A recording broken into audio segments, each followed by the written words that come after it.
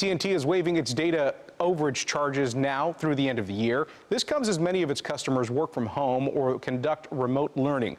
AT&T originally gave a waiver set to expire in October, but extended it after pushback from parents.